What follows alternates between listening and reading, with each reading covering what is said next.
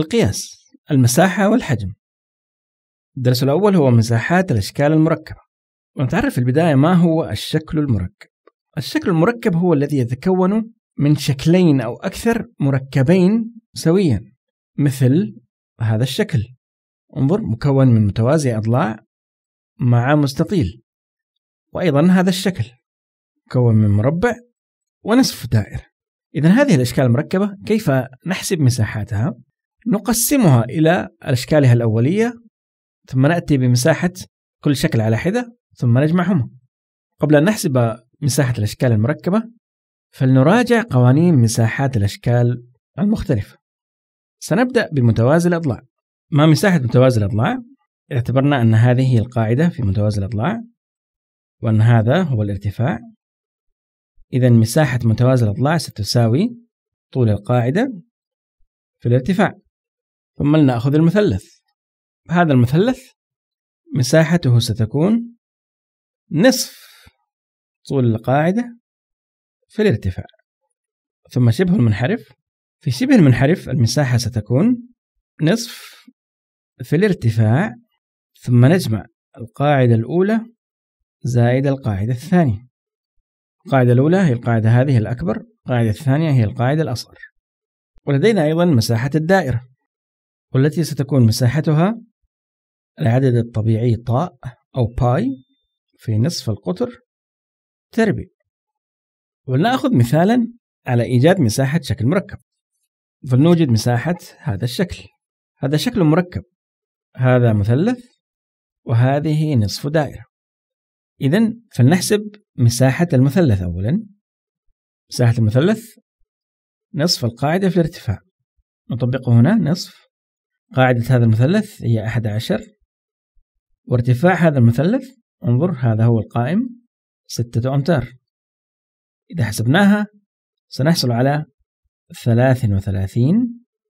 ومن الوحدة هنا شوف ضربنا متر في متر إذا متر تربيع. ثم نحسب مساحة نصف الدائرة. مساحة الدائرة كاملة طاء في نق في نصف القطر تربيع. إذا نصف الدائرة ستكون نصف طاء في نصف القطر. انظر هذه الدائرة قطرها كامل ستة أمتار.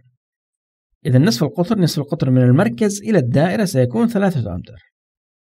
طبعا لا ننسى التربيع.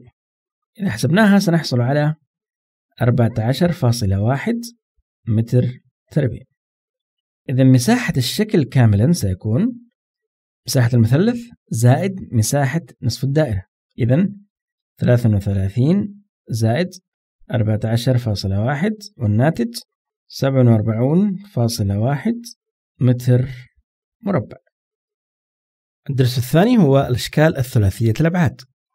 قبل أن نبدأ في دراسة الأشكال الثلاثية الأبعاد فلندرس حالات تقاطع المستويات. فالمستويات قد تتقاطع في مستقيم بهذا الشكل. فإذا نظرنا هذا اللون الأخضر مستوى وهذا الأزرق مستوى والأصفر أيضا مستوى وتقاطعوا في هذا المستقيم. وقد تتقاطع المستويات في نقطة. مثل هذا الشكل. هذا مستوى وهذا مستوى هذا المستويان تقاطعا في مستقيم. لكن المستوى الأصفر قاطعهم بهذه الطريقة فتقاطعوا الثلاثة جميعا في نقطة واحدة هذه هي. وقد تكون المستويات متوازية بهذه الطريقة فلا تتقاطع. هذه مستويات متوازية لا تتقاطع. وقد تتقاطع المستويات في شكل نسميه متعدد السطوح وهو هذا الشكل. في هذا الشكل تقاطعت المستويات لتكون هذا المكعب أو الذي نسميه متعدد السطوح. وكل سطح نسميه وجه. فهذا الجانب مثلا نسميه وجه. وهذا الحد نسميه حرف. وهذه النقطة نسميها رأس. وإذا رسمنا خطا مستقيما من هذا الرأس إلى هذا الرأس هذا الرأس في الداخل وهذا الرأس في الأمام هذا الخط المستقيم نسميه قطر. وإذا لاحظنا أن هذا مستوى واحد في هذا المستقيم س صاد يوازي هذا المستقيم لام واو وهذا المستقيم صاد. لام يوازي س واو وهكذا حتى هذا الوجه عبارة عن مستوى وهذا أيضا مستوى وهكذا. ولكن ماذا عن المستقيمان؟ س صاد ولام عين. هذان المستقيمان ليس في مستوى واحد ولا يتقاطعان أيضا.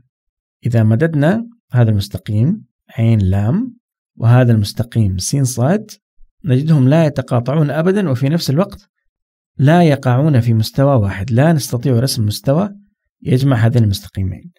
إذا هذين المستقيمان لام عين والسين صاد نسميهم مستقيمان متخالفان. ومن الأشكال الثلاثية الأبعاد التي تنتج عن تقاطع المستويات المنشور.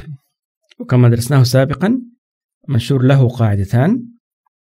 تكونان من أي مضلع قد تكون القاعدتان مثلث أو خماسي أو سداسي وما إلى ذلك. وجوانبه تكون متوازيات أضلاع. ومن الأشكال الثلاثية الأبعاد أيضا الهرم. والهرم ينتج أيضا من تقاطع المستويات. والفرق بين الهرم والمنشور أن الهرم له قاعدة واحدة فقط وأن جوانبه مثلثات. قاعدته قد تكون أي مضلع قد تكون مربع مثلث خماسي وما إلى ذلك. لكن جوانبه تكون دائما مثلثات.